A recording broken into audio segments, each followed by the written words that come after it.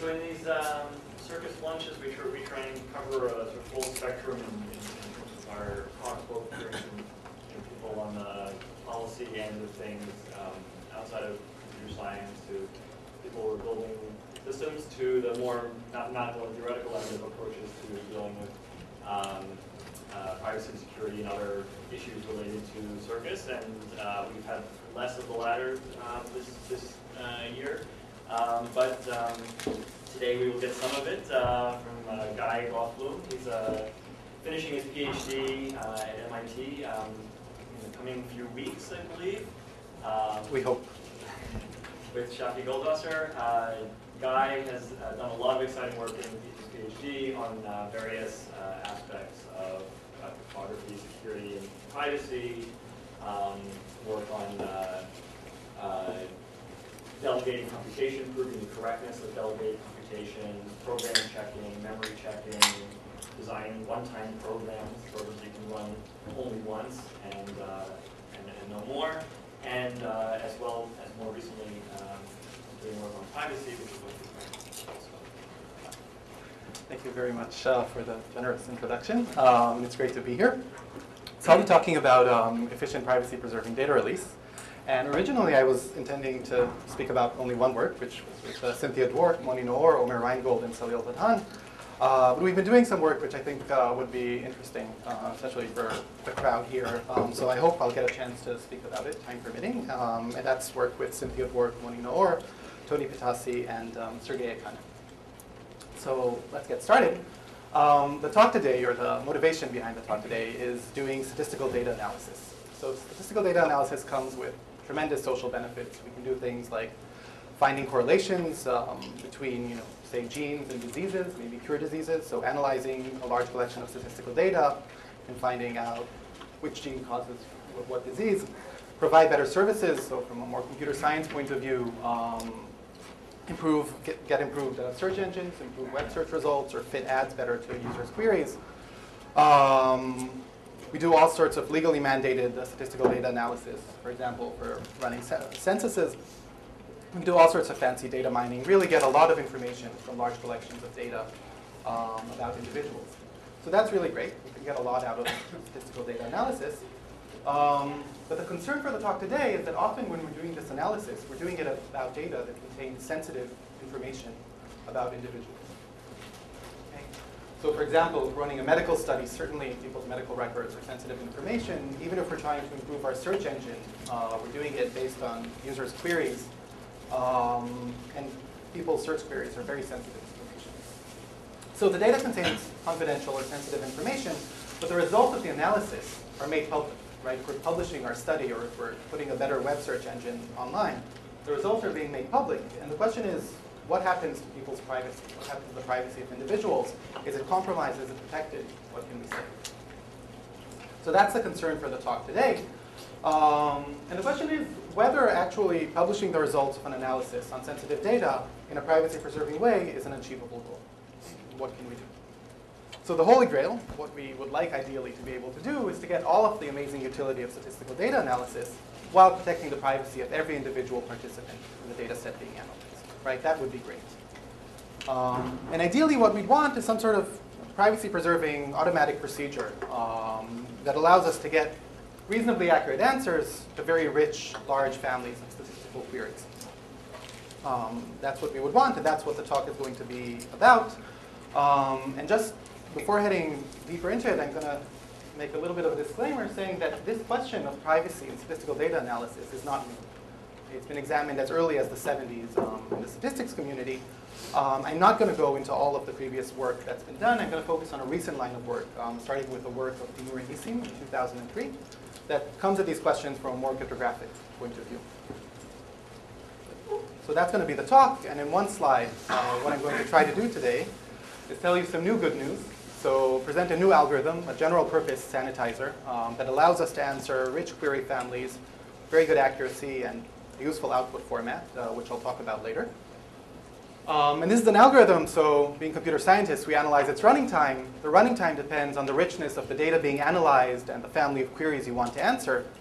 And it's natural to ask how, you know, how, uh, how good we can make this runtime, or you know, how far down can we take it?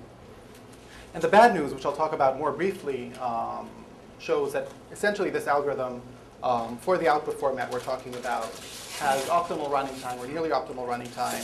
Um, so we're going to have pretty much matching computational hardness results based on cryptographic assumptions. Um, and then to end the talk, uh, hopefully we'll have time, I want to talk a little bit about some of the new challenges we've been thinking about. And in particular, one thing that's been a big concern for us is just just this question of is it ever okay to actually have large databases of sensitive information lying around? Is that reasonable and can it be avoided? Okay, so that'll be at the end. But first, you know, before going into new results, um, what do I mean when I say rich families of queries? What's the notion of utility I'm after? Um, a more interesting question, what do, I, what do I mean when I say privacy?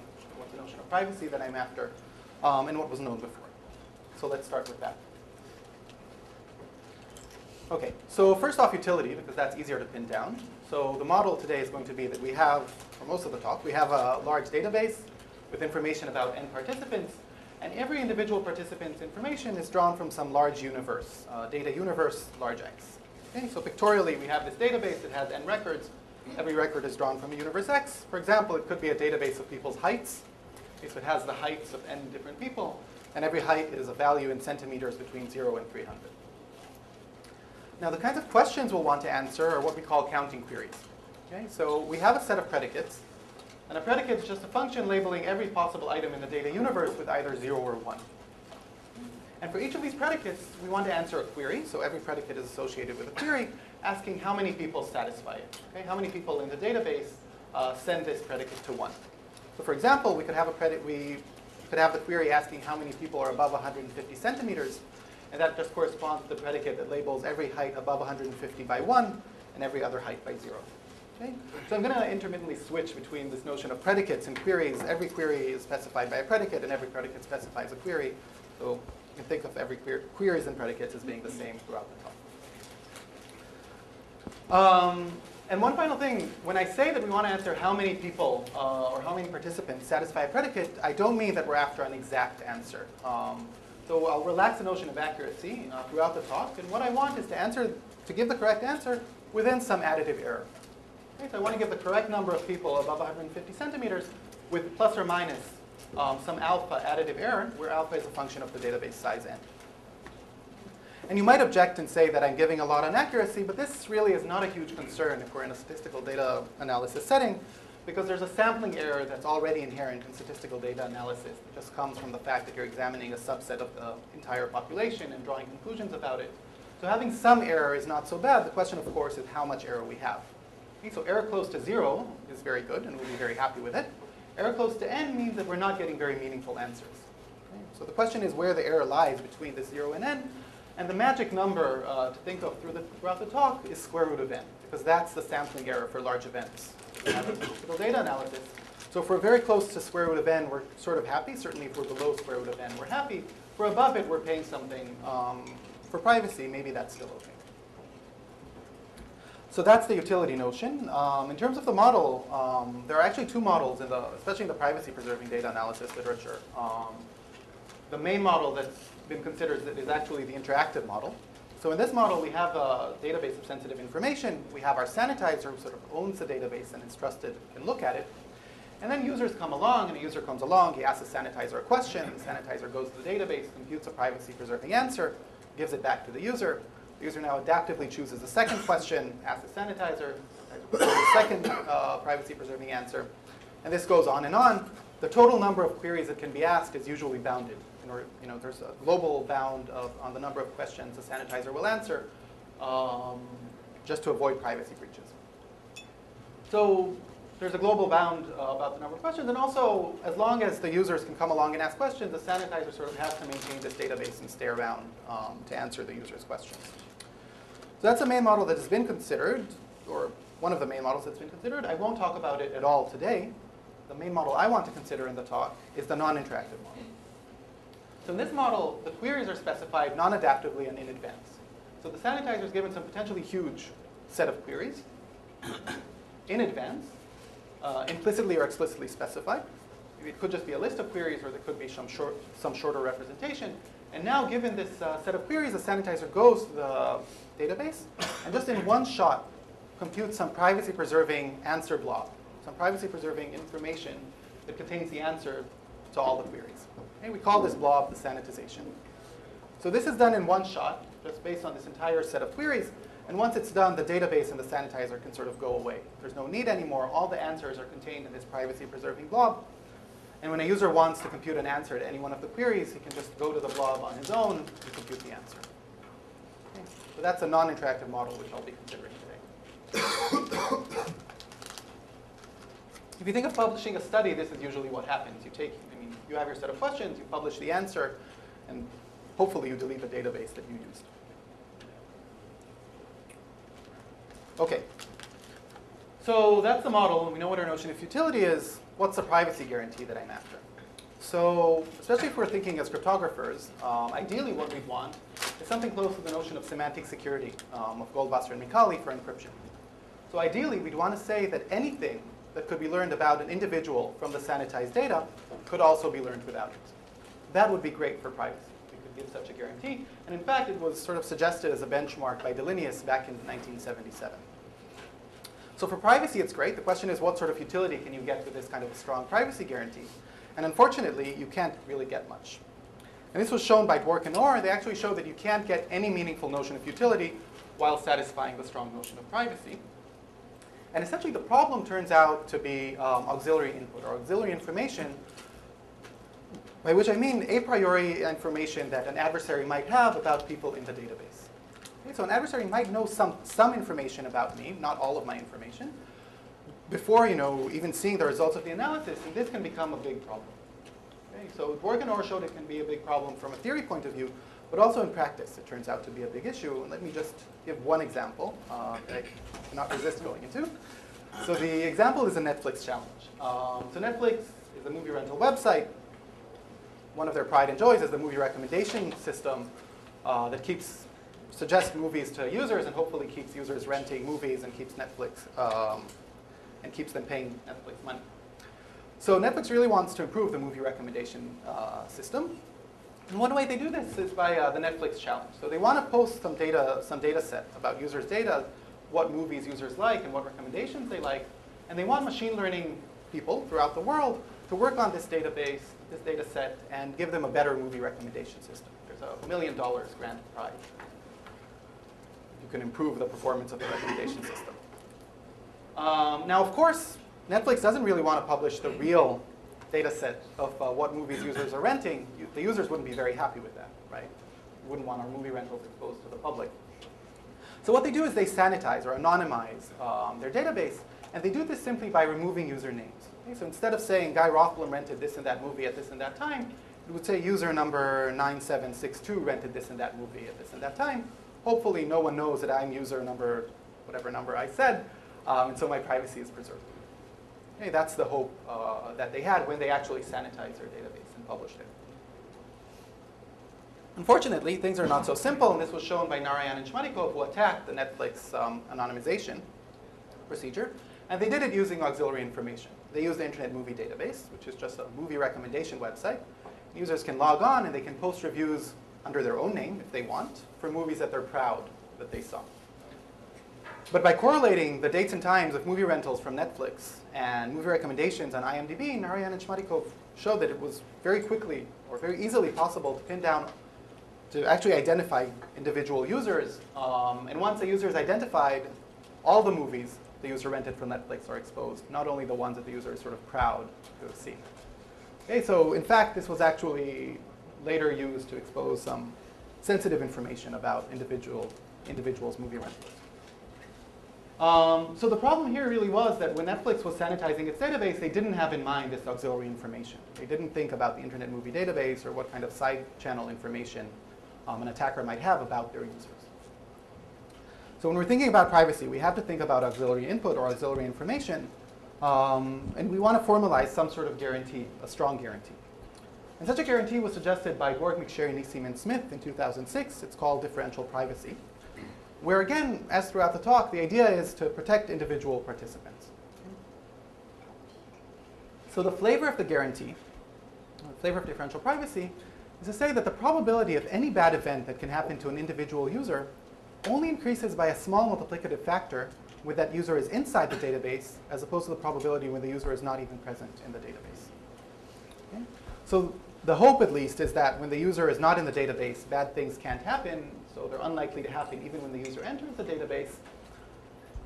One safe thing to say is that this is a guarantee that is really geared towards encourage, encouraging people to participate in data analyses, because you're not going to be hurt by your participation in the data analysis. Okay? That on its own is not going to hurt you. That's the guarantee given by differential privacy. So a little more formally, what do I mean uh, when I say the probability of events only increases by a small multiplicative factor?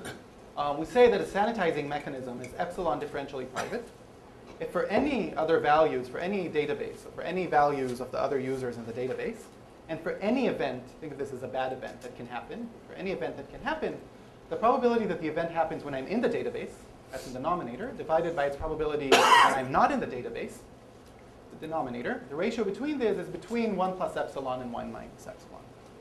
So bad events sort of increase by a 1 plus epsilon uh, multiplicative. The probability of bad events increases only by a 1 plus epsilon multiplicative factor when I enter the database.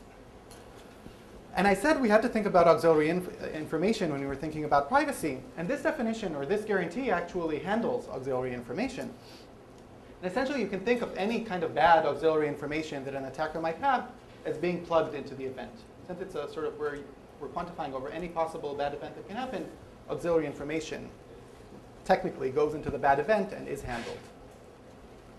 So is it important that it's two-sided? I mean, could you do better if it was just one-sided? Um, if you're talking about bad events, it's not clear to me why. Yeah, I mean, so I don't know. I don't want to make a judgment about what kind of event is um, is good or bad. So I would have, you know, if I have a bad event that is happening with slightly higher probability, maybe a good event is happening with smaller probability. I just want to bound all events. So, yeah. Um, good. So throughout the talk, I won't be making this. Um, I won't be making as strong. I mean, I won't be making this strong. Um, I won't be achieving this strong guarantee. I'll make a slight relaxation. The relaxation I want to make has to do with the fact that I just told you that we are considering all bad events, but in fact, I'm not really concerned about any event uh, in the world. The, the events I'm concerned about are events that can actually happen. So if an event has exponentially small, sort of very, very tiny probability, whether a user is inside the database or outside of the database, I don't really care about the ratio between these exponentially small probabilities because neither one of the events is ever really going to happen. So all I care about are events with noticeable probability, events that can really happen uh, when the user is inside or outside of the database. And formally, um, we capture this by, or this is captured by epsilon negligible, what's known as epsilon negligible differential privacy. And we just allow a negligible quantity to be added or subtracted from the numerator and the denominator for these inequalities to hold. Um, okay, and one last note about, uh, so I'll talk a little bit more about the definition, but one last note, at least for the cryptographers in the audience. Um, as opposed to what maybe we're used to, um, here when I talk about epsilon differential privacy, epsilon is not a negligible quantity in the database size. Think of epsilon throughout the talk as being a small constant. Okay, so epsilon is 1 over 10 or 1 over 100. Um, and the probability of bad events increases by, say, 1.01 multiplicative factor. Okay. So just to get um, some flavor, uh, some idea of the flavor of the guarantee, let's quickly go, go, through two examples showing how to get differential privacy and how not to get differential privacy. So in both examples, um, I want to have a database that has collect, a collection of users. For every user, it stores the, name of the user together with a tag. The tag is either 0 or 1, indicating something about the user. And I just want to answer one query. I want to say what I want to say how many of the participants uh, in the database have tag equal to 1. So here's a bad way of doing this for privacy. One way we could do this is just to choose and release a random, a random subset of the tags of users. I choose a random subset of the users, and I release their tags. This is actually great for accuracy. This would give you very quickly a very good approximation about the number of participants with tag equal 1 versus tag equal 0. So for accuracy, it's very good. For privacy, it's very bad. Um, so technically, um, let's consider the following bad event. Say we're all in the database. everyone's tag is 1 except mine. And you all know that you all have tag equal to 1. The only question is whether my tag is 1 or 0. Okay? This you don't know, and this I would like to keep secret, sensitive information. Say my tag is 0. Okay? So and now we run this sanitizer. A random subset of the people, of people is chosen and their tags released. The question is, if I'm in the database and I'm one of the people chosen, then, some, then you all know that someone has tag equal 0, and you all know that it has to be me, because you all have tag equal to 1. So the bad, this bad event happens when I'm in the database with probability at least 1 over n, because you know, people are chosen at random with probability 1 over n, I'm going to be chosen, at least. If I'm not in the database, no one has tag equal 0, so a 0 tag is never released, and the, this bad event has probability 0. Okay, so here the ratio between the probabilities of these events is infinite. This is not uh, private for any epsilon. It's not epsilon private for any epsilon. And really, this idea of choosing and releasing um, information about a random subset of the people intuitively also is bad for privacy because someone's privacy is always hurt. It's true that for any one person, uh, the probability that their information is released is small, but someone is always hurt, and so we're not happy with that solution. So what would we be happy with? Here's a different idea that has been very successful. Let's, let, let's just compute the number of tags, of number of people with tag equal 1 in the data set and add some noise to that before releasing. Okay, so we release the correct number of ones plus some noise.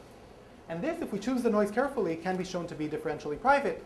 Basically what we want is a noise, a noise distribution where the probability of noise value, say k minus 1, is only slightly smaller than the probability of noise value, is only slightly different than the probability of noise value k.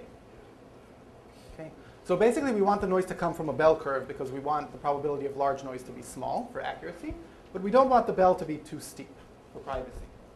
Um, and setting the parameters appropriately, you can actually draw the noise from a Laplace or a binomial or a Gaussian distribution. Um, these work and they actually can be shown to give to satisfy the strong definition of uh, epsilon differential privacy. Okay, so so much for what we want in terms of privacy, and we know what we want in terms of utility. Um, let's briefly go over what was known by previous work. So unfortunately, uh, early works showed that utility and privacy don't always go hand in hand. They can't always be achieved simultaneously. And we have negative results, uh, specifically for counting queries, um, where for a database with n participants, we have a specific collection of n counting queries about n counting queries that cannot be answered with less than square root of n error. The original result is from Dinur and Nissim and extensions in later work. So you can't answer too many queries with too little noise. And by can't answer, I don't just mean that you wouldn't be able to get the strong notion of differential privacy, but you really wouldn't be able to get any reasonable notion of privacy. Um, so if you answer this number of queries with less than square root of n um, error, with less than square root of n noise, almost the entire input database is compromised. Okay, so really, no meaningful notion of privacy can be achieved. So those are impossibility results. We have to live with them. The question is, what can we do? Okay? Um, so possibility results and possibility results, we can either answer less queries in this, or we can add more noise. Okay? And that's what previous work has done. Most previous work has focused on the first direction, so answering less queries. Um, and if the number of queries we want to answer is smaller than the, the database size, then we can do quite a lot. And the main technique is, that's used is, as I said before in the example for how to sanitize, just to add independent noise to the answers on every query. Okay, so you compute independent noise values for the answers on every query, and you can show that this gives you privacy. So Dinur Nissim and Dworkin Nissim showed that you can actually answer an almost linear um, number of queries with less than square root of n error uh, while getting uh, epsilon differential privacy, or constant epsilon. So almost matching the negative results, okay, nearly tight. And when we look at these results, um, first off, what I want us to notice is that the accuracy is great. We're below the square root of n magic number, uh, where the sanitizer error is less than the sampling error uh, that we expect anyway in statistical data analysis. So that's very good. Um, of course, what's bad is the richness of the analysis we can run. We can only answer a few queries. Um, this may be okay if we're talking about a huge database. For example, our database is the Google search logs.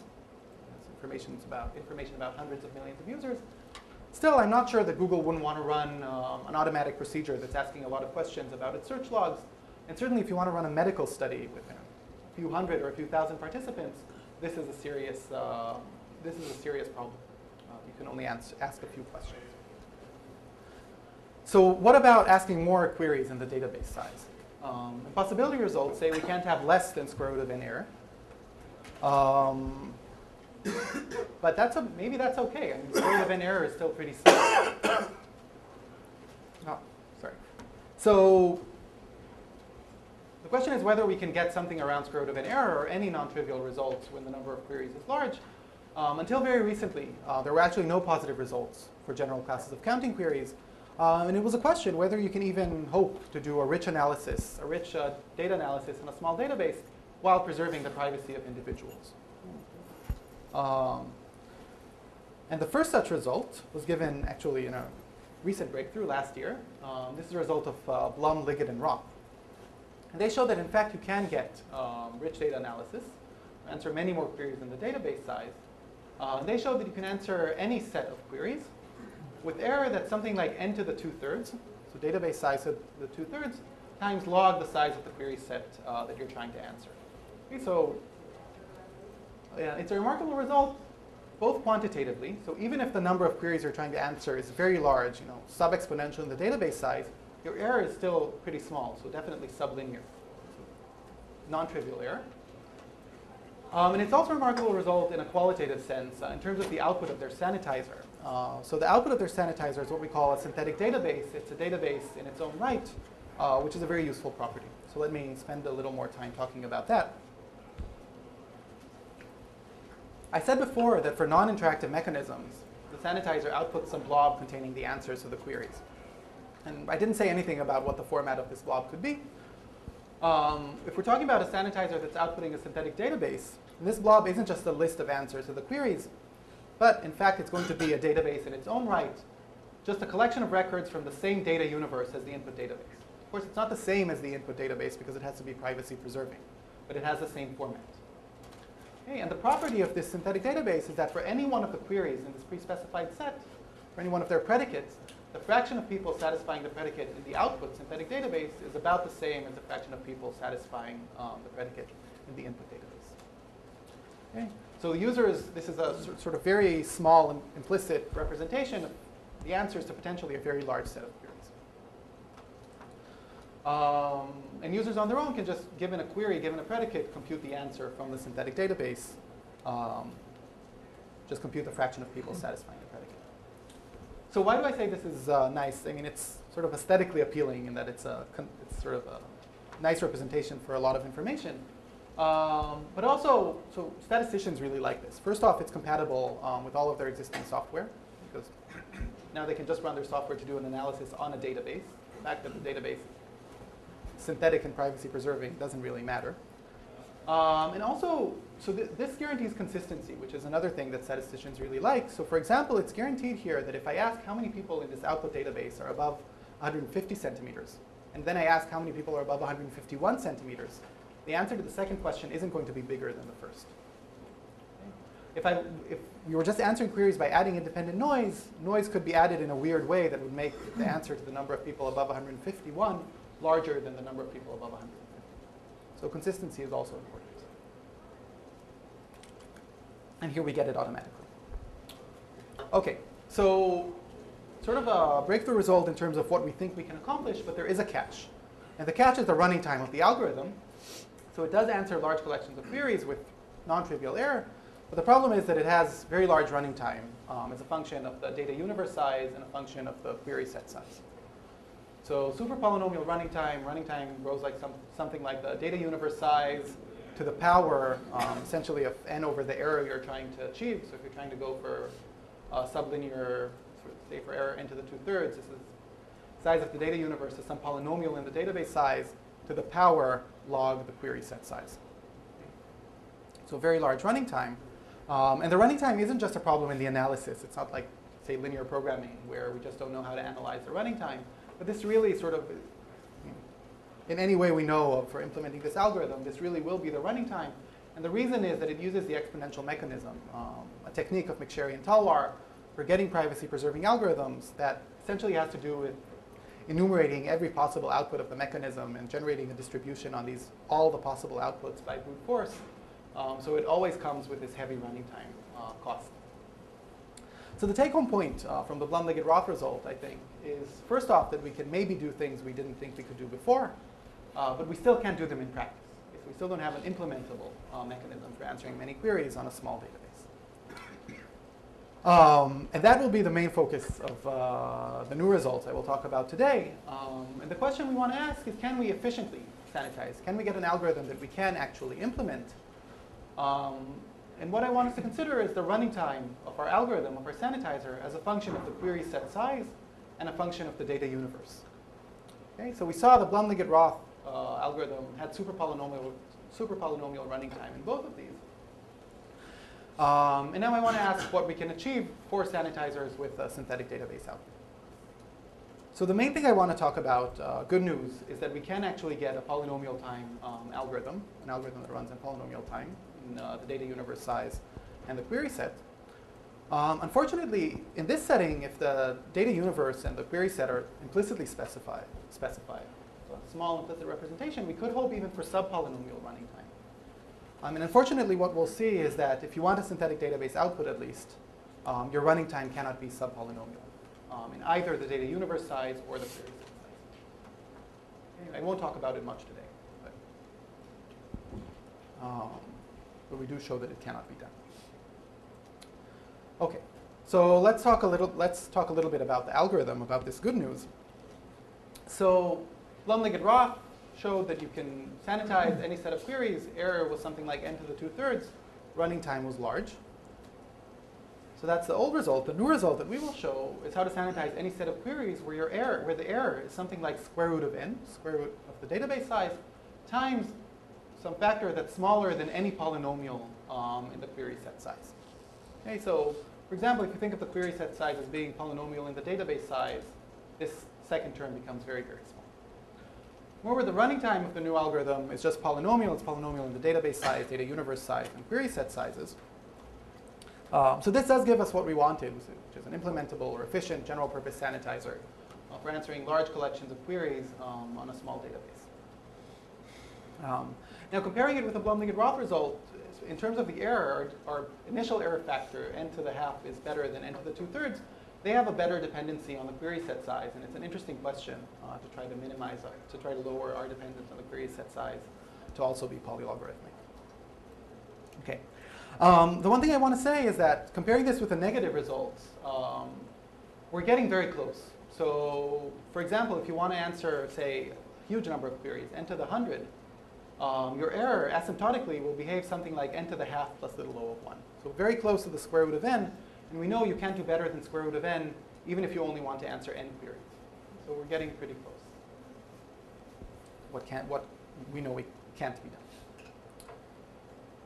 OK, so that's the good news. I want to briefly tell you a few ideas from the algorithm, um, and then a little bit about negative results and future work. So algorithm is recursive. Uh, we have a database D and a big query set uh, that we want to answer. Okay? Now say recursively we have a small sanitizer, by which I mean we have a sanitizer A prime that works for smaller query sets, for subsets C prime, for any subset C prime of the query set C, okay? for a small subset the large, of the larger query set.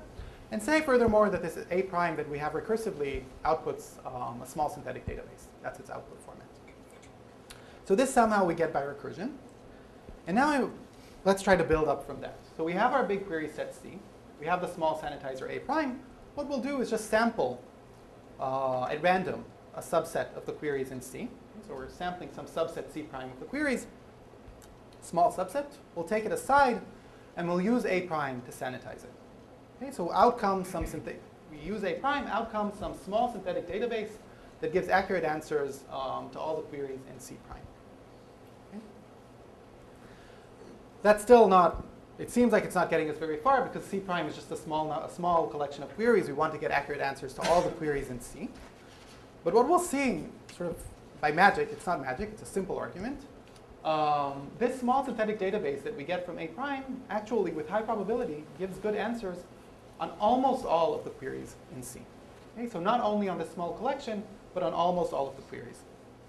Those, so there's some bad set, B, small, bad or underprivileged queries, on which the synthetic database we got doesn't give accurate answers. But, on ev- but everywhere else, on all the other queries, we are actually getting for free, essentially, um, accurate answers. So we're closer to where we want to be. Still, we have this annoying set of queries uh, that are bad or underprivileged and we don't have accurate answers for.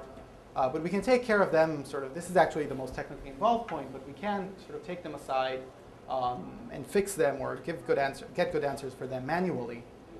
Um, and in the end, so we take them aside, we fix them manually, and in the end, we have accurate answers to all the queries um, that we, we want to.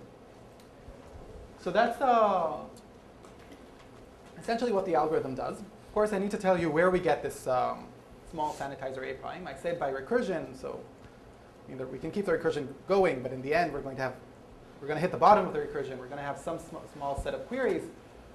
I'm not telling you how we get um, a small synthetic database that gives um, good answers even for a small set of queries. So I need to tell you where we get that from.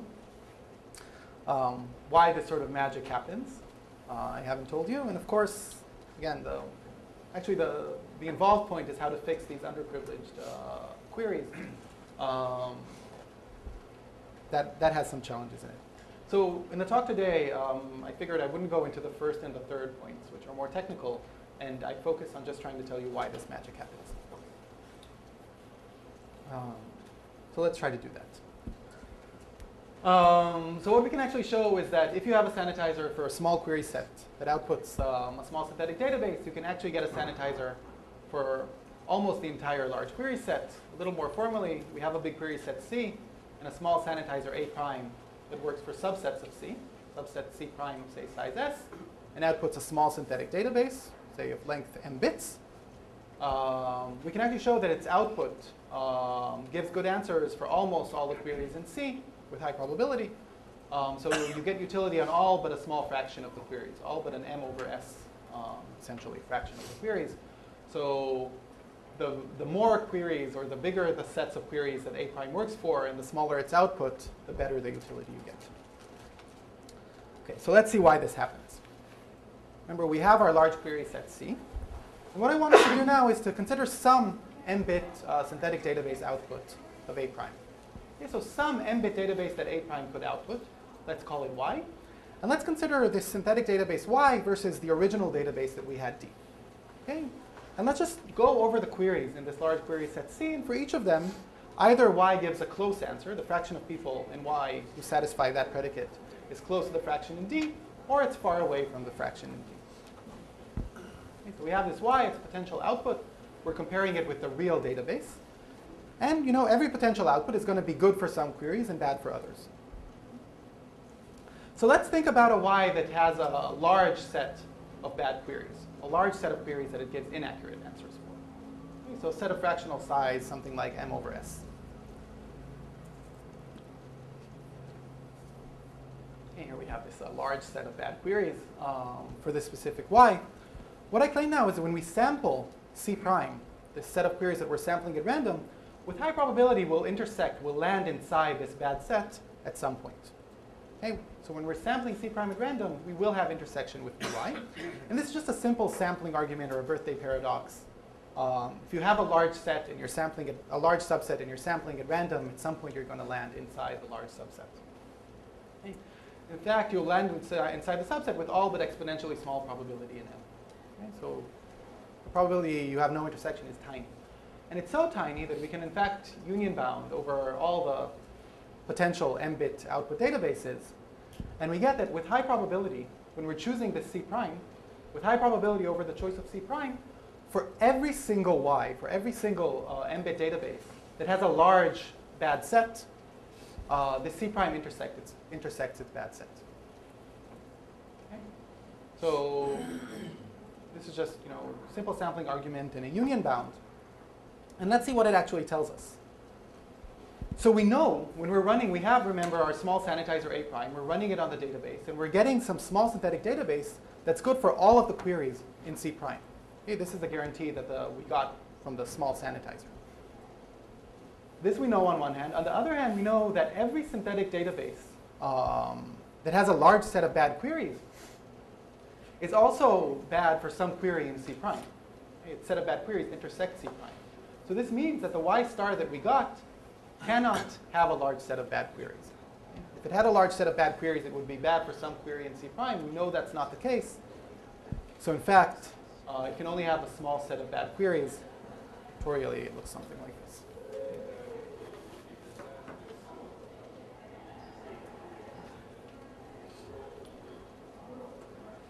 Um, yeah, so I guess the, the principle we're using here um, can be thought of as uh, Occam's razor, which is a scientific principle. It's used in learning theory. And essentially it says that um, simple explanations tend to generalize well. And to some extent, that's what we're seeing here. We have this simple explanation, small synthetic database, um, that gives us good answers uh, for the queries in C prime. And we're seeing that, in fact, it will generalize well when we're considering all the queries in C. It will give us good answers for almost all of them. Okay. So briefly, um, for the bad news, um, we think about this task of sanitizing both with general output and with synthetic database output.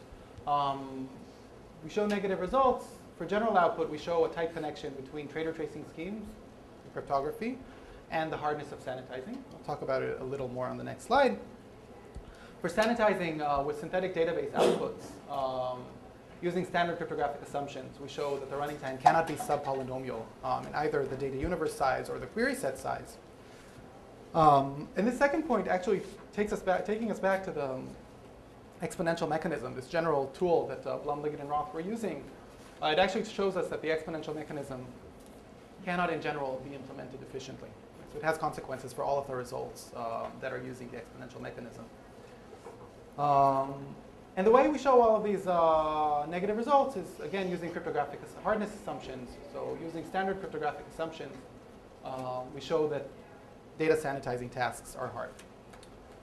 So for sanitizing with general output, um, what we show is an equivalence between traitor tracing, which is a method for content protection in cryptography, um, and the hardness of sanitization. And we don't only show an existential equivalence, but there's actually a tight connection uh, in the parameters between the data universe um, and query set sizes that are hard to sanitize and the key and ciphertext sizes um, in traitor tracing schemes. And in particular, um, using known constructions of traitor tracing schemes under more or less standard cryptographic assumptions, uh, we actually get separations between what you can do efficiently and in exponential time uh, in terms of sanitizing. This uses um, a traitor tracing scheme of Boneh, Sahai, and Waters. Um, and I want to say, we have this tight equivalence, and now, it's a very interesting open question, where in the realm of parameters is traitor tracing possible? Um, and where in the realm of, param of, parameters is sanitizing possible? We know they can't sort of coexist, uh, but the question is, where does one become possible and the other impossible? And we're not really sure where that boundary lies.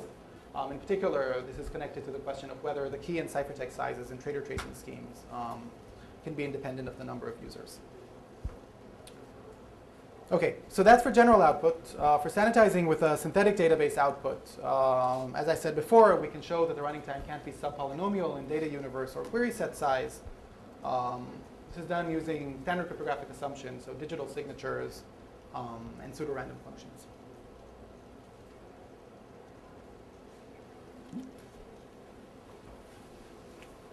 Um, and to sum up, at least this, um, for telling you a little bit about future work, um, some of this part of the talk, what we saw is that on one hand, efficient general purpose sanitizing is possible if you're willing to run in time polynomial data universe and query number size.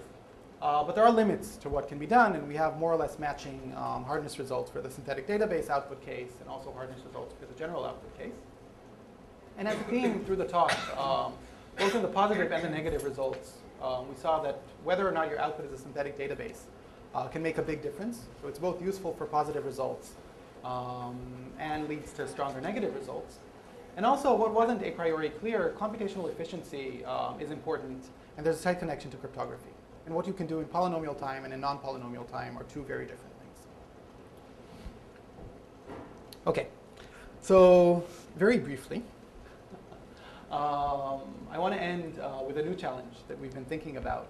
Um, and the challenge we've been thinking about is, you know, there's a social privacy maxim that says that if you're using data, you should only be using it for the purpose for which it was collected. And really the question that we want to ask is, who's watching the curator of the data, or who's watching the sanitizer? And do we really trust any entity to safeguard these databases of sensitive information? So if you're thinking about Google and their search, their search query log, these big databases are subject to a lot of threats, um, and they have a lot of sensitive information. So subject to mission creep, you know, people have big databases of valuable information. They keep wanting to extract more and more utility out of them, more and more money out of them, um, without maybe the proper concern for privacy. But even if the curator is, you know, innocent and really wants to pre- preserve people's privacy, still subject to security breaches, uh, to subpoenas. We've seen, you know, companies very unwillingly being forced to release uh, their sensitive databases. Um, a recent example, so there's this um, baseball drug, drug testing uh, scandal or controversy where anonymous drug tests, so there were anonymous drug tests run with a guarantee of anonymity, but the results were sort of held up, were stored by the company, by the company that was running the drug test. They were later seized because of an independent federal investigation, and the results of the supposedly anonymous drug tests were leaked. People's uh, privacy was, was violated. Okay, so steroid users in particular were identified. Um, so the question we want to ask today is, can we get um, algorithms that are private sort of from the inside, inside and out, um, algorithms that are private even in terms of their internal state. So even if the internal state is revealed, privacy is maintained. Uh, and the goal is to allow a curator to accumulate the statistical information, but without being subject to the subpoenas, without being subject to security breaches, without ever storing sensitive data um, about individuals. So some of the, um, the model we want to consider is we always have web search in mind, uh, search queries in mind, and the model is a stream of data items coming in, um, one after another, and the curator gets to see each item, updates it, update its internal state, and then sort of the item disappears.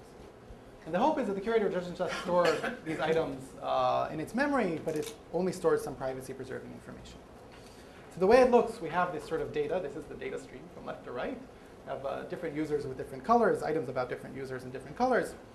And we have this curator who's getting the items one by one. He has some state, sees the first item, updates his state, and then the item is discarded and deleted. Second item comes along, updates the state, the item is deleted. And the idea is when we're talking about pan privacy, um, is that even if now the internal state is sort of breached and becomes observable to the outside world, the, the privacy of users that have come in so far is not violated. Okay? So at any single point in time, the internal state itself is differentially private. Okay, so even if there's an intrusion, uh, privacy is maintained. Okay, so this goes on. You know, the state is updated and the information is deleted. The whole uh, data stream is processed. At the end, hopefully, we have some very meaningful statistics about the data stream without ever having to store sensitive information.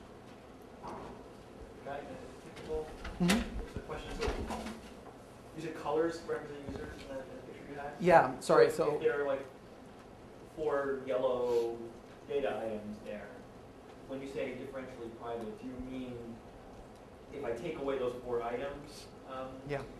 Yeah, very good question. So there's a distinction between what we call user level and event level privacy, which has, which has to do with whether you're trying to protect the privacy of an individual data item or of all the items pertaining to a single user. And we're talking about protecting all the items pertaining to a single user. If we're talking about web search, the guarantee is that um, whether or not you made all of your queries together, you know, however many queries you made, um, your privacy is preserved. Um, good, question. Thanks. Um, okay, and I'll just note that since we aim for these sort of collections of streaming data, where the you should think of the amount of data is huge, um, a second objective, privacy aside, is also to have very small internal state and very quick uh, update time. Okay, so the internal state should be, say, polylogarithmic in the data stream size. Um, so I won't, I wanted to say a few words, but I'll try to end on time. So I won't go into much detail. I wanted to give you as an example um, how we actually estimate um, the stream density or the number of distinct elements in the stream, sort of a classic uh, problem in the streaming literature. Um, I can talk about it a little more after the end of the talk if people are interested. Um, so let me quickly go through these two slides. Um, and just tell you a little bit about what we can do uh, in this, in this pan uh, private setting. So as I said, we can estimate the number of distinct elements or the stream density. We can do statistics like uh, cropped means. uh, which is just the mean over all the users of the number of, of the minimum between the number of appearances of the user and some cropping value t. Uh, we can estimate the fraction of items appearing exactly k times, or the fraction of items appearing at least k times. Um, and the way I was talking about it before, we were only trying to handle one intrusion. So at one point in time, there's an intrusion um, and privacy is maintained. We can also handle a bounded number of intrusions, so we have some extensions for that. Um, to sum up, um, there's, I think there's a lot of interesting research happening right now and a lot of progress in our understanding of what we can and cannot do in terms of maintaining privacy and getting rich statistics. Um, there are also sort of an infinite number of uh, open questions, um, just a few of them to think about now. Um, so I presented this notion of differential privacy. Um, sort of, it's become, it's been used a lot. Um, we like it, we know how to achieve it. Um, on the other hand, we're not really sure what is and is not captured by differential privacy, and there are other notions of privacy to consider. So really, the question of what the right notion is and what exactly the guarantee we're, we're getting is, is still, to some extent, open. Um, what the right, is there one right notion and what it is? Um, is an open question. Um, one thing I don't want you to leave the talk as is the talk. One state I don't want you to leave the talk in is discouraged by negative results. So it's true that we have these computational hardness results, but one thing to bear in mind is that they're only for general purpose sanitizing, and the actual classes, the actual query sets that we show are hard to sanitize are not natural in any sense. Okay? They're using cryptography, they're doing things like verifying signatures or computing pseudorandom functions. Definitely not the kinds of things that you would actually want to do if you're doing a statistical data analysis in practice or in reality. So it still remains entirely possible that for any or for almost any uh, class, even exponentially large class of queries we would want to ask to answer in practice, sanitizing is possible very efficiently. Um, and this is similar to the situation in the computational learning theory uh, community, where they have strong negative results for general purpose learning. It hasn't stopped them from being very successful in learning specific concept classes. Yeah, and I only briefly got to talk about who watches the curator and this sort of uh, pan-privacy concern. Uh, there's a wide spectrum of open questions, um, and we have some preliminary results about them. Uh, so that's another interesting direction um, for future research. Um, and I think more generally, when we talk about privacy, it really comes up in any setting where we have where we have a computational procedure or you know any procedure that's taking as input sensitive information and has it as, as output some public outcome. Um, privacy becomes a concern, and you know you can think of many different settings in which this happens: social networks, online data that's coming in in an unpredictable manner, um, learning theory. You know what kinds of data sets are we learning, and what can we say about privacy? Um, and really, almost you know any algorithm that's being run on sensitive information, what happens to privacy, and what's the trade-off between privacy and utility that you can get? Uh, so a lot of questions to be asked and answered. That's it. Thank you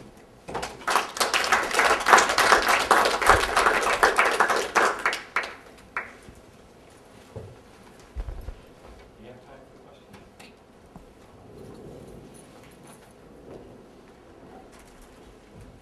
I've got sort of a question. Can you talk a little bit more about the, uh, uh, your la- your second to last point, the conclusion about generality? Um, You know, we have very negative general results. Do you have an intuition for what particular aspects of the generality are leading towards the negative results? or where we should, you know, more complicated systems to use? Yeah, I mean, so in terms of positive results, um, one positive result that's already known is sort of for geometric kinds of questions. So the negative results are very sort of specific to specific class of questions that cannot be sanitized. And these specific questions are, you know, verify the digital signature, this and that digital signature, output this and that bit of verification. Um, for example, questions that people really want to ask often have to do with things like um, so geometric queries about half spaces. Sort of, you have some set of points in d-dimensional space, and you want to put half spaces or planes, and ask how many people are above and below your plane. Um, and that, for that, we have some. They're not exactly positive results in terms of the utility that I was. I mean, they don't exactly get the notion of utility I was talking about today. They get a relaxed notion of utility, but they can answer an exponential family of questions, and they have very efficiently and with a very small implicit uh, representation of that answer. So definitely for geometric queries, which is also part of the stuff that people have been doing, doing in learning theory. Um, in learning theory, so I mean, one direction you might want to follow in learning theory is looking at low complexity classes, uh, which is what people have done in learning theory. Um, there isn't as much hope for that here. Um, so our negative results are, or the, the, the queries that you cannot sanitize are in lower complexity classes than what's known to be hard for learning. Um, so that's maybe not as promising direction. And I guess there's also, I guess maybe we don't, we assume more specific types of information in databases, in general. Could that be another area? Do you assume a more specific range of data? Right. Possibly. I mean, it would also that would also be limiting the sort of the family of queries you can ask. And then,